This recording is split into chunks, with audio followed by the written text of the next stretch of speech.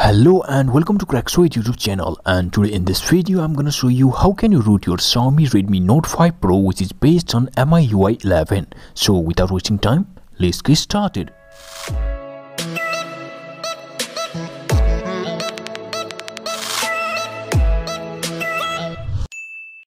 So this is Redmi Note 5 Pro which is based on MIUI 11.0.3 global stable version and you can see the Android security patch level of 2019 November 5 and which is based on Android Pie. So to root your Redmi Note 5 Pro first of all you have to unlock the bootloader of your phone and then after you have to install custom recovery on it. And if you don't know how to unlock the bootloader of your phone then I have made a separate video on that topic. You can check the video will be in the description and can easily unlock the bootloader of your phone. And also if you don't know how to install custom recovery pitch black on Redmi Note 5 Pro based on MIUI 11 then I have made a separate video on that topic. You can check the video will be in the description below and can easily install custom recovery pitch black on Redmi Note 5 Pro which is based on MIUI 11. So watch that video and install custom recovery pitch black on Redmi Note 5 Pro based on MIUI 11 of course.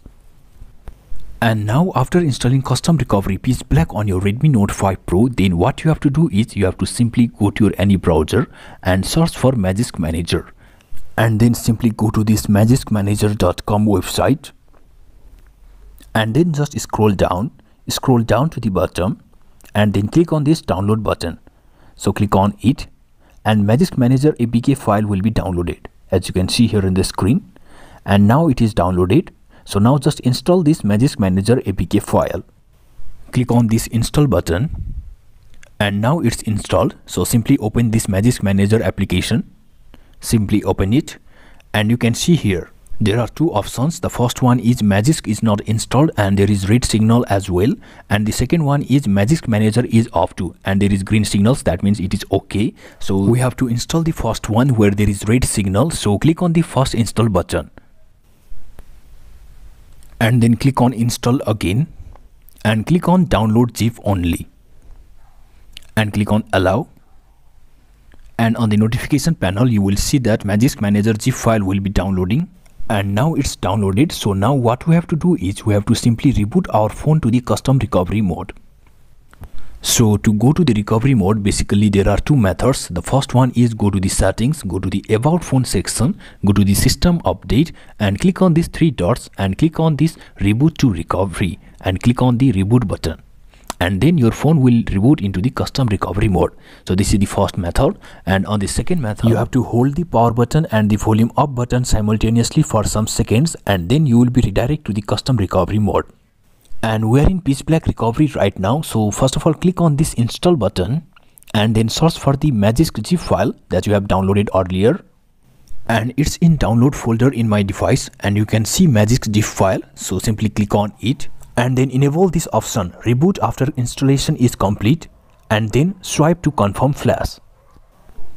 And then installation process will start and then after some time your phone will reboot to system.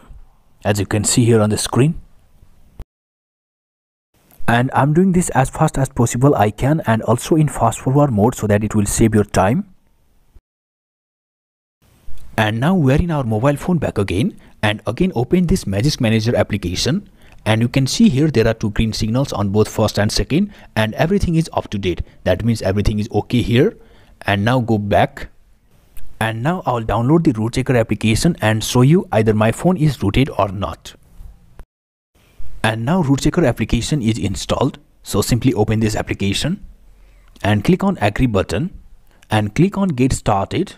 And at last click on this verify root to check either phone is rooted or not and this is the super user request. And here simply you have to grant the permission. And boom congratulations the root access is properly installed on this device. That means our phone is rooted so finally we have rooted our Xiaomi Redmi Note 5 Pro which is based on MIUI 11 and I hope you understand how to root Redmi Note 5 Pro based on MIUI 11 and I hope you like this video as well. And if you like this video just let me know hit that like button comment below if you have any kinds of queries suggestions or any kinds of problem. And share this video as much as you can. And don't forget to subscribe to our Craxoid YouTube channel and hit that notification bell as well. So thank you for watching. See you in my next video. Until then goodbye Thank you.